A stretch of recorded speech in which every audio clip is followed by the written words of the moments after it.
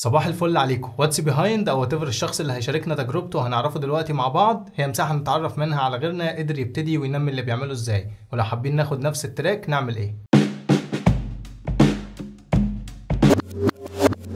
تنويه كده على الماشي. التجارب دي تجارب شخصية تخص أصحابها. فهنحاول تكون مع أشخاص مختلفة وتجارب مختلفة لعل وعسى تخبط في واحد شبهك. فيلا بينا.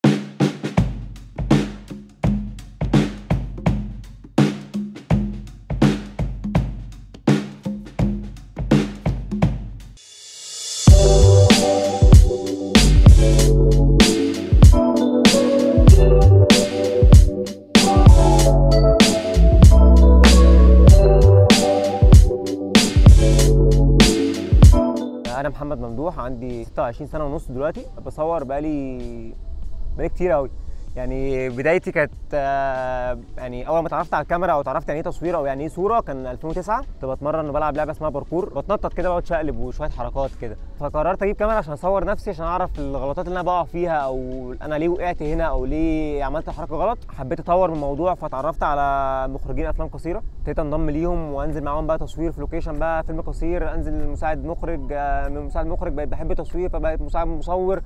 كل ده أنا يعني بحب التصوير بس يعني في سكة الفيديو شوية. لحد 2014 2013 2014 ابتديت بقى وأنا في ال location في التصوير آه بمسك الكاميرا وأقوم مصور مثلا صورتين ثلاثة وأقوم واخدهم على ال memory وأقوم مروح. أنا كده معيش كاميرا بقى لسه معيش كاميرا DSLR. فآخد الصور أنزلها آه فالناس تقول لي الصور حلو فتمام؟ ماشي خلاص. أنا أنا كده يا جماعة خلاص يعني بعرف أصور؟ خلاص تمام. ابتديت بقى اهتم أكتر بمين بيصور في مصر آه، صور زي اللي أنا بحبها. فعرفت اللي في حاجة اسمها street photography آه، فاهتميت ان أنا اصوره. لحد 2015 كنت اشتريت اول كاميرا ليا آه، DSLR كانت آه، كانون 600 D. وابتديت انزل اصور يعني من الصور اللي افتكرها في الأول ليا كانت صور النوة 2015 نزلت في شهر واحد كان في نوة كبيرة جدا في اسكندرية صورتها ونزلت الصور ولقيتها مرة واحدة عملت بوم كده. ف- طيب ماشي. يلا دي خطوة تانية في تصوير. حصل حدث في اسكندرية كده كان أكبر مائدة آه، إفطار. فقررت إن أنا عايز أعمل حاجة مختلفة في المائدة ديت عايز أصور. طب تمام ماشي. كلنا كمصورين الواد ده عايزين نصور وعايزين نصور المائدة. ف فكرت فكرة مختلفة كده إن أنا أطلع أصور صورة من مكان عالي آه، أجيب فيه أكبر مساحة أقدر أجيبها من المائدة. المائدة كانت 7 كيلو على ما أعتقد أو أكتر. فقعدت عينت كذا location على البحر وكذا عمارة عشان أطلع أصور من عليها لحد ما خلاص رسيت على عمارة كده كانت 17 دور وقلت خلاص هي دي اللي هصور من عليها وبتاع. جو من المائده طبعا حصل شوية مشاكل وبتاع وخلاص بقى كان فاضل على الفطار بتاع 10 دقايق ولا ربع ساعة. بس فرحت العمارة اللي أنا هصور عليها ديت لقيتهم قافلين السطوح وقال لي خلاص إحنا آسفين اتحاد الملاك قفل ومفيش تصوير. فلا إزاي؟ ما خلاص فاضل سبع دقايق على الفطار وأنا لازم لازم آخد الصورة. بس اتمشيت تاني بسرعة لغاية ما لقيت عماره كانت تسع ادوار طلعت صورت من فوق كام صورة للمائده وقررت إن أنا أحط الكاميرا بتاعتي كان معايا كاميرا صغيرة كده اسمها جو برو قررت أحطها على على selfie stick كده وخدت صورة سيلفي مع المائده بس ونزلتها. الصورة دي نزلت على موسوعة جينيس الأرقام القياسية على الحساب الرسمي بتاعهم على تويتر لي mention بقى و... وحصلت ضجة صغيرة كده كانت يعني دي أول حاجة قالت لي إيه يلا كمل. يعني انت انت مع انها مالهاش علاقة بالتصوير اللي أنا بصوره دي حاجة كانت تعتبر يعني صورة سيلفي. بس الضجة اللي حصلت عليها خلتني أهتم أكتر إن أنا لأ أنا في ناس كتير كتير بقت بتتكلم عني أو ناس كتير عارفاني كتصوير فلازم أطور من نفسي. فاهتميت إن أنا أطور من نفسي أكتر ودخلت 2016 قدمت في ناشونال جيوغرافيك وصلت للمرحله النهائية. بس ما حصلش نصيب ما كملتش دخلت الجيش. كل حاجة راحت يعني خلاص بقى يعني المؤشر اللي كان طالع بالنسبة لي عمال يعمل كده جه سنة الجيش ديت شهر 10 2016 عملت كده. فرحت رحت خالص يعني كل حاجة كل حاجة حرفيا راحت مني لحد بقى لما رجعت تاني 2018 آه، حاولت أقف على رجلي تاني في التصوير بس الموضوع كان صعب ف مش عارف أمسك الكاميرا مش عارف أصور. آه، الموضوع ما كانش سهل عليا. فابتديت أصور بالموبايل خلاص بقى لازم أشوف بدايل للتصوير. اهتميت ان أنا اصور بالموبايل الموبايل في جيبي خلاص على طول. ف صورت موبايل فترة كبيرة من 2018 لحد دلوقتي. ليه بصور بالموبايل عشان الموبايل سريع. آه بسيط. حاجة في جيبك على طول. آه مش ملفت للأنظار في الشارع أو مش ملفت للأنظار في لأي حاجة أنت بتصورها. يعني أنت لما تصور بكاميرا DSLR بعدسة موضوع ضخم قوي لكن لما تصور بالموبايل الموضوع بسيط يعني. لما حد يشوفك ماسك موبايل وبيصور بيه تمام ماشي. لكن لما حد يشوفك ماسك كاميرا بعدسه ب zoom بتاع انت بتعمل إيه يا أستاذ؟ مش عارف إيه إيه، ناس ناس ناس برضه بدأ عندها خوف من أول أول 2014 2015 من الكاميرا فالموضوع بالموبايل بقى أسهل شوية. آه لما كنت نازل اصور يعني أنا هو دايما أنا 80% من الصور اللي أنا مصورها آه مش مترتب مش مترتب إن أنا انزل أصور. يعني أنا بصور street photography وبصور documentary عشان أنا بحب بحب أعمل دوت. وبحب ال street photography عشان بحب الصورة اللي هصورها في الشارع. وأنا ماشي هي الصورة مش هتتعاد تاني. خلاص. هي لقطة. هي لقطة جت قدامي مش هتتعاد تاني. أه بحضر إزاي وأنا نازل أصور أو أنا مقرر أصور. دايما ب... يعني بقول حاجة في التصوير كده عندي بالذات أو في, الصور اللي أنا بصورها. أه بحب دايما أكون سابق الحدث. يعني إيه سابق الحدث؟ يعني مثلا على النيل ولا واقف على البحر وشايف حد واقف بيلم شبكة. فهو بيلم الشبكة دي عشان هيرميها تاني. هو خلاص لمها. طب أنا ممكن أصورها وهو بيلمها. بس هو هو هيرميها. لازم لازم أكون متوقع إن هو هيرميها تاني. حتى لو مش هيرميها. أنا فاروح وأقف واستنى وأبقى عارف اللي هو مثلا إيه اللي هيحصل دلوقتي. دايما كده بحس إن تصوير الشارع محتاج محتاج الحاسة السابعة. محتاج يكون عندك حاسة سابعه حاسس إن أنت تتوقع هو هيعمل إيه. يعني توقع الكادر ده هيحصل فيه إيه. أنت أنت مثلا أنت شايف frame قدامك على الصورة هو ال frame ده آه، تمام هو صورة عادية اهي تمام. بس أنت توقع إن في حد مثلا هيعدي دلوقتي. حد هيعدي من الكادر ده. حد هيخش يقطع هنا. فده دي دي من أول الحاجات اللي أنا بهتم بهتم بيها وأنا بصور إن أنا أكون دايما متوقع الحاجة اللي هتحصل دايما متوقع الصورة آه هتبقى عاملة إزاي. آه ودايما برضو خليك مش متوقع.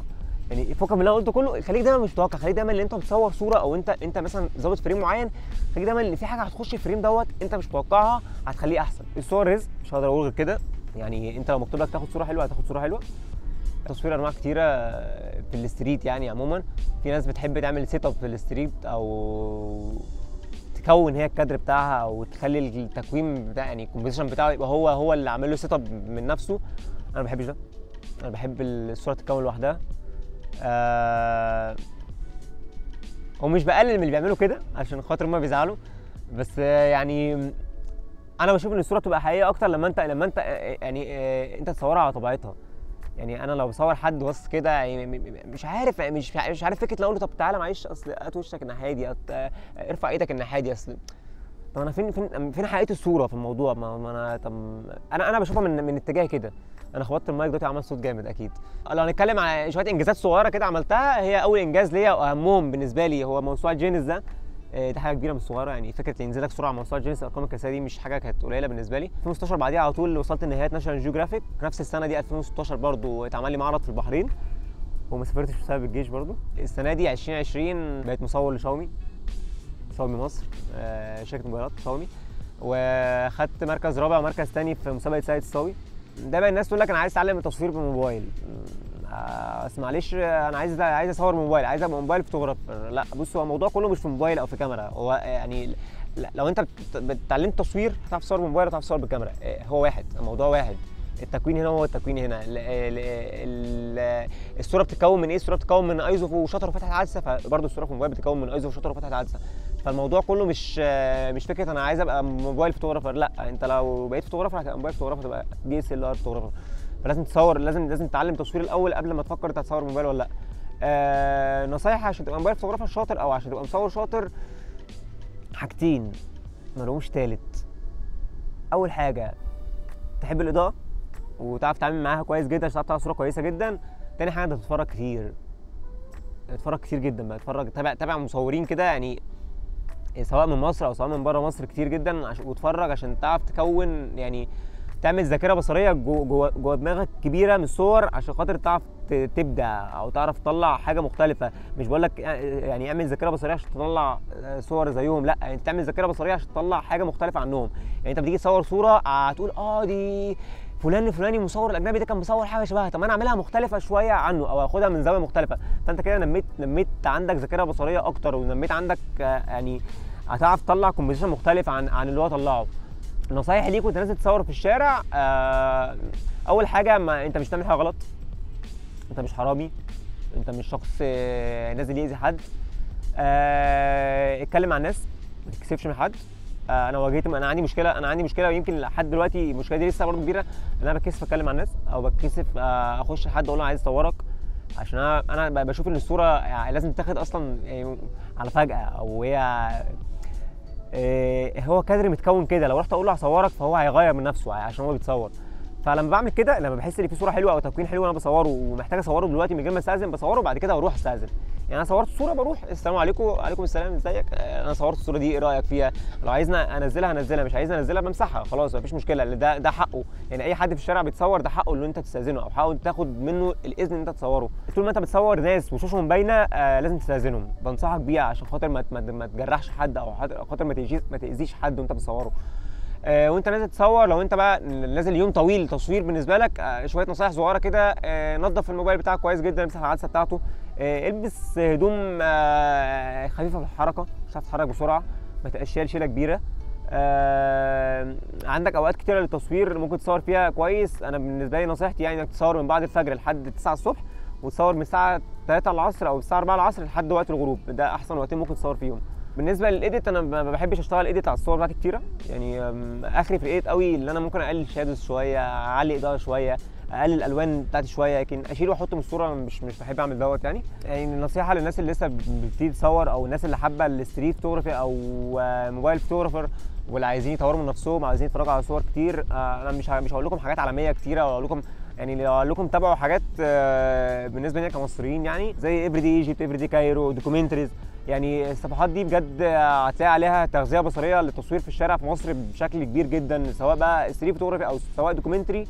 فأتمنى تخشوا تتابعوهم وت... وتتفرجوا على الشغل اللي عندهم. ولو عايزين مو- موقع يعني لو ارشح لكم موقع عالمي فهو مفيش غير موقع عالمي بالنسبة لي واحد جدا اللي بقدر آه يعني أندمج معاه في التصوير. أو أقدر أتفرج على صور كتيرة جدا مش في ال street photography بس ده في كل أنواع التصوير. هو 1x ده موقع كبير جدا عالمي أنا أنا بحبه. الموقع ده في القلب يعني. أنا يعني كل ما أنا زهقان بفتحه واقعد اخش اتفرج عليه. بس فيعني طول ما أنتوا تتفرجوا كتير طول ما أنتوا هيبقى عندكم تغذية بصرية كتيرة طول ما أنتوا هتطلعوا صور احسن. بس يعني ده كل حاجة.